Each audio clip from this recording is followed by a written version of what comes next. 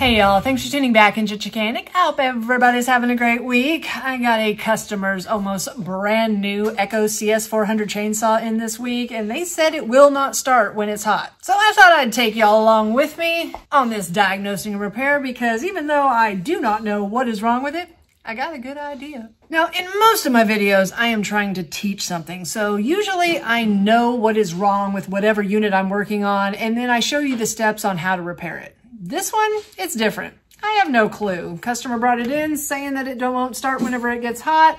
I did one thing though. I checked the fuel. Now, is there water in it? No. Is it bad? No. Is it fresh? Yes. Now, I guess you could say in the past, I have made a few videos uh, that might have been a little controversial about a engineered fuel sold at the big box stores that everybody uses. And in the past, I have shown many examples of why it sometimes does not like to run correctly in these small engines. But I still get a lot of commenters saying, I've been using it for years and it works fine. And it might. But at the same time, if you are having issues, it might be the reason. We're gonna take it outside, we're gonna check its RPMs, and we're gonna see if it's running at peak performance on this engineered fuel.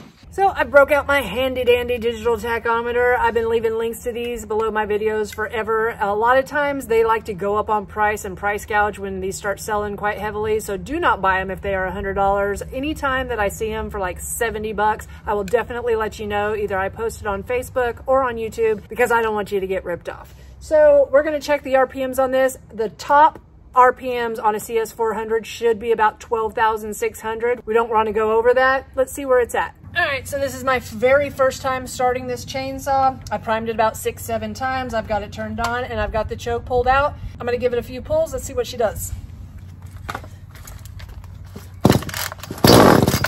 Pops off, starts great. Echo start, so easy. Take it off chunk.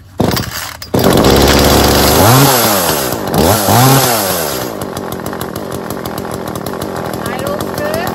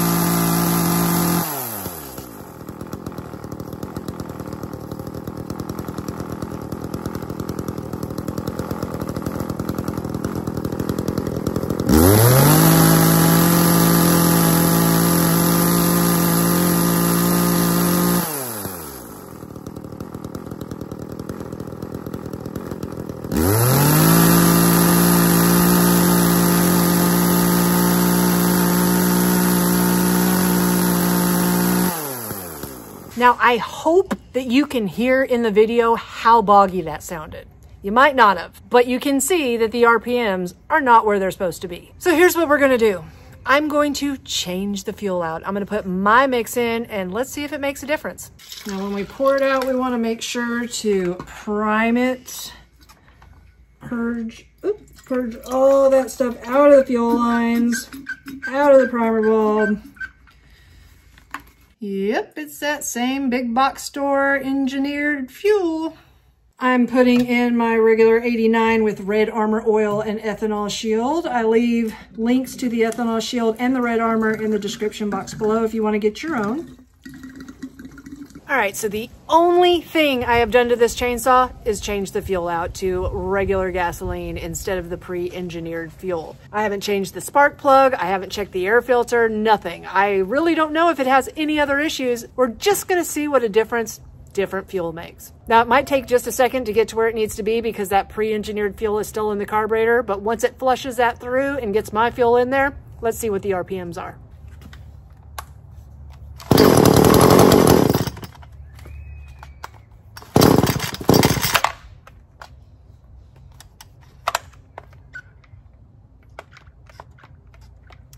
No fuel in the fuel lines. Got some fuel in there now, choking. Pops off.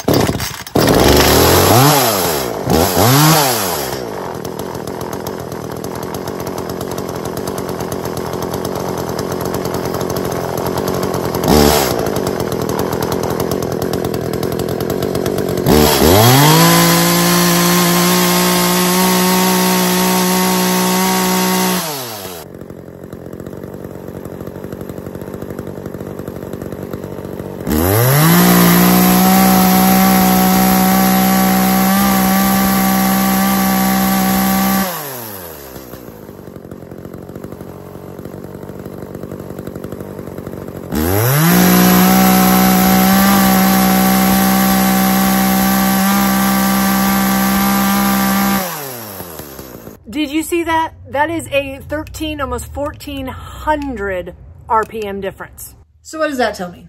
That tells me that this saw is not running at least at peak performance, which I know 11.6, 11.7 is still not peak performance. It can run possibly higher.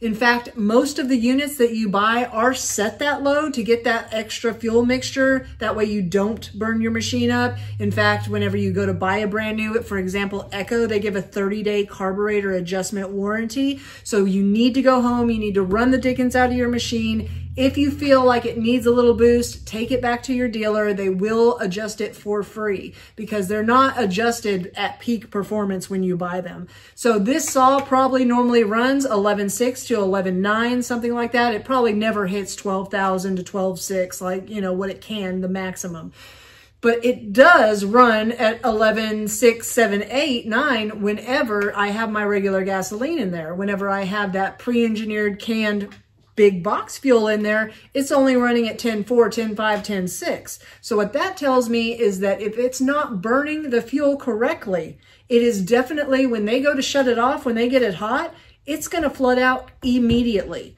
So whenever they go to back to start it up, they're going to go pull it. It's not going to start. They think, oh, well, maybe it needs some fuel. I'm going to choke it. That's the wrong thing to do because it's already got too much gas in the cylinder. Then it just makes it worse. And it's definitely just a flood issue. You're not going to have these issues if your machine is running at peak performance with the correct mixture. Now, a lot of people are going to get in the comment section and they're going to say it runs just fine. Yes, that saw would have still cut wood at 10.8, 10.7. But the fact is, it could run better. I've had a lot of people ask me about the Aspen 2. I had never used it before until a viewer sent it to me, and thankfully they did because this is really good stuff.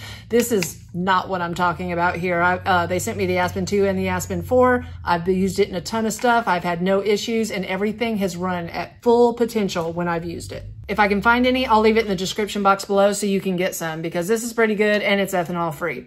Now I go through way too much gasoline to just buy the expensive stuff, although it is nice to have around. I do use regular 89 octane with the red armor oil. This is the best oil I feel that you can buy. I leave it in the description box below all of my videos in case you want to get your own.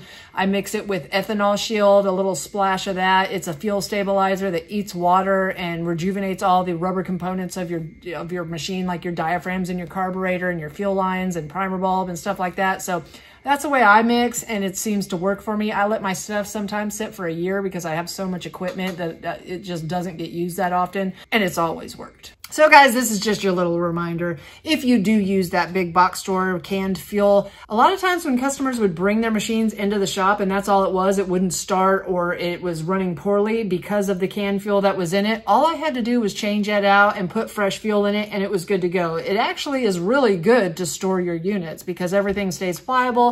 It, it's, it, I don't, I'm not going to knock it that way because it actually is good for something that you're going to let sit. But when it comes to running, I'm telling you, I don't know if it's just bad batches or certain parts of the world where we get bad batches or what, but I've seen it a ton of times. Now, I'm not going to leave you hanging. We're going to make sure that this machine has no other issues. We're going to go ahead and check inside the cylinder and piston, make sure that everything looks pretty in there, check the plug, check the air filter, make sure that those weren't the issues that the customer was having. But I'm pretty sure since I ran into it hundreds of times before that it was definitely a fuel issue. I've got my HD endoscope or borescope. I know you guys hate me calling it endoscope, but the company actually calls it an endoscope. So I know all my viewers over 50, they're like, don't call it an endoscope. That, that gives me the heebie-jeebies. But it's just what the company calls it. So we're going to go ahead and get this plug out. Oh, that plug boot's tight.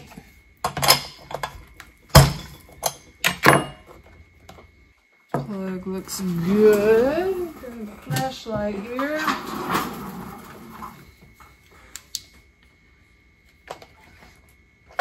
And the piston couldn't look any more beautiful. Let me show you. Get my, it's so pretty in there. You can still see all the cross thatching. No, absolutely no up and down scoring. Still looks beautiful. And the air filter is pretty much clean as a whistle. Like I said before, this saw looks almost brand new. It's barely been used. So guys, if you don't know which uh, canned fuel I am talking about, it's the most common one sold at the big box stores. If, if the first one to come to your mind is probably it. If you do not know what I am talking about, you could look back at past videos. I've uh, said a lot about it already, so I don't want to say their name anymore just in case, you know, I don't want a cease and desist kind of letter. You know what I'm saying? but if you are having issues and you do use that kind of fuel, definitely change your fuel out and see if that is your issue first. Don't take it to the repair shop for them to charge you 20 something dollars just to put some fresh fuel in there. So now that I'm done with my little fuel rant there, I wanted to talk with y'all about something else. And this is completely off topic. So if you're only here for repair stuff, you might want to click away. But if you're here about supporting the channel, please keep listening. I started Chickanic's Mechanics membership a few months ago. And first off, I want to thank everybody who became a Chickanic mechanic. I thank y'all so much for your support.